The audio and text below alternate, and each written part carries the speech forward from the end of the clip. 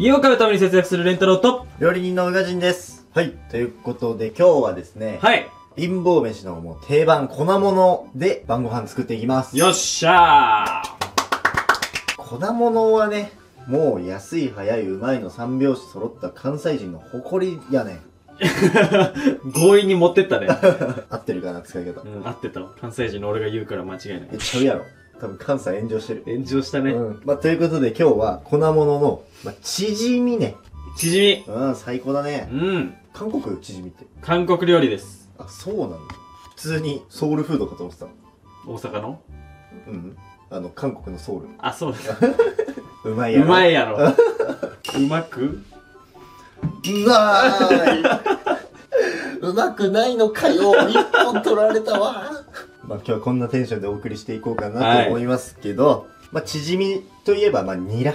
で、今日は冷凍庫に眠っていたこちら、シーフードミックス、うん。ギヨムヨ業務用でーす。海鮮チヂミか。うん。うん、作っていきます。まずじゃあニラだけね、切っていきましょうか。ああと玉ねぎも今日は入れるんで、玉ねぎも切れます。いやー、最近さ、うニラがマジで高騰してる。ん。ニラマジ高えよな、今。高い。から、半分で。贅沢だ。半分でも。半分も使っちゃうからね。うん。でもメインだから。チヂミのそうね。ニラは。ニラはまあ一口サイズぐらいに切りましょう。はい。玉ねぎ、冷蔵庫に半分あったから入れます。いつから出るかわかんない。マジ？玉ねぎってね、そんなに傷む食材ではないからさ。去年だと思う。いや、じゃあもう傷んでる。とてつもなく傷んでる。去年の新玉かな。去年の新玉。あでもまあ、新玉って取れたてじゃん？普段売ってる玉ねぎってその新玉をあのずっと置いといてやつだからね。うん大丈夫でしょうということで。普通の玉ねぎになったってこと。そう、新玉が。うん。てか、まず去年の新玉というのを嘘だと言ってくれ。はい。じゃあお野菜切りましたんで、チヂミの種を作って、いかないいかないのかよ。いや、一本取られたわ。これ多分、俺らしか笑ってないから、やめよいや、わかる人はわかるよね。う。元ネタわかる人いるかな？いや、結構有名ではあるよね。一度、あの顔を見たら忘れる人はいないぐらいの革命軍幹部だからね。でも名前は岩？ないいや、言わないのかよ。一本取られたわ。はい、ということで、はい。種を作っていきます。片栗粉、えー、80g。小麦粉 100g。水 200cc。醤油小さじ1。鶏ガラスープの素小さじ1。ごま油大さじ1。で、こちらを混ぜていきます。でこの種の中に、もうさっき切った野菜全部入れちゃいます。チヂミって本当に酒のつまみになるよな。うん。タレがね、今日はね、簡単チヂミのタレもね、紹介していきますんでね。ここなんだよ。結局。タレがうめ。タレとニラのうまさよ、うん結局。粉は腹を満たすためのもの。最高だよ。貧乏飯。貧乏飯界のキングです。マジ？豆腐は？クミン。ナイトぐらい。ナイトぐらい。うん。じゃあちょっとシーフードミックスも入れちゃいますか。マックスで。マックス？マックスで。マックス入れちゃう？いや、やばい、それは。主役じゃないんだよ。ニラだから主役は。貧乏じゃねえのか 海鮮の香りを入れたいがためのアクセントとアク。セント。ちょっと具を。ちょっと多すぎたね。うん、贅沢チヂミになっちゃったよ。まあいいでしょう。はい、じゃあそれじゃあこちらをね、あとはもう焼いてうん。いくんですけど、焼く前に、つけだれ作っていきます。おい。はい、ということで、つけだれ作っていきます。はい。こちらですよ。そちなみに、チヂミのつけだれは、醤油、お酢、砂糖と辛味。味ポンってもう、醤油とお酢と旨味成分たっぷりのものなんで、これをベースに、まあ使う量入れてください。量は特段決まってないです。う。思うがままってやつだ。そうです。このコチュジャンも思うがままに。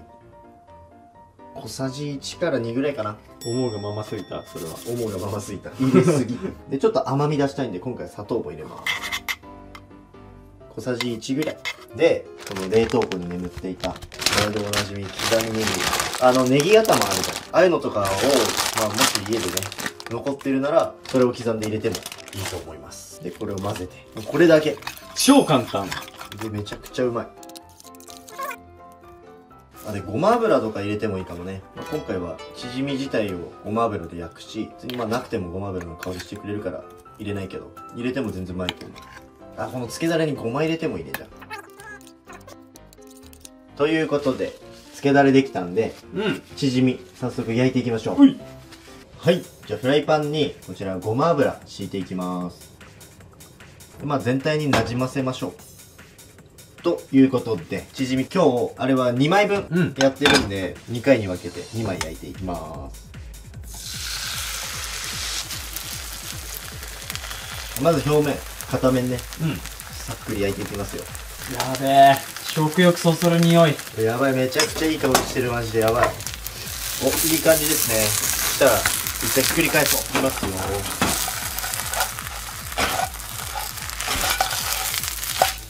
おい。おいお前すげえなやっぱ。うめえから俺は。スローでもう一度。そのレベル？いマジで。きますよ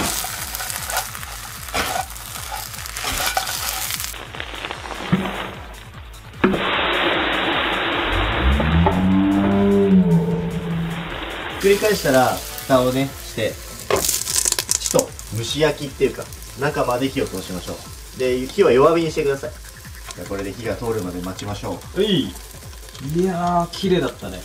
う マジで？おおまあ案外余裕よ。羽生結弦のトリプルアクセルぐらい綺いやそれは綺麗だね。麗うん。びっくりした。涙出てきえ そんな言う？うまそう。たあービール飲みてこれはビールだね。やっちゃうかねえ食って寝る。食って寝る？食って寝る。でも今日は？やっちゃわ。ない！やらないの。マヨポンってうまいよね。マヨポンもうまいしこっちマヨもうまいし。それも最強じゃないですか。もう全部揃ってるもう3大将揃っちゃってる。そういうこと。こっちじゃんマヨネーズポン酢。はいということで完成しましたんで。はい。蓋開けてみてみましょう。見えてるけどもうえー。い裏側がねどんな感じかっていう。お。うわめっちゃいい。いい感じです。じゃあ盛り付けて食べていきましょう。はい。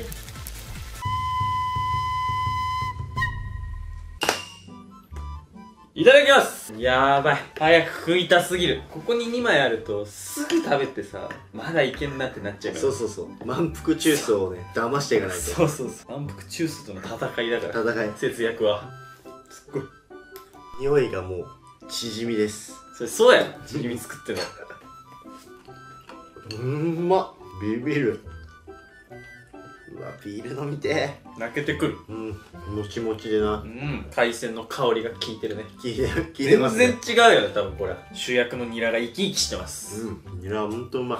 でもやっぱお好み焼きとは全然違う、うん。こちらで よろしいですか？マヨネーズ。チヂミはマヨネーズなのよ。聞いたことないけど、まマジで。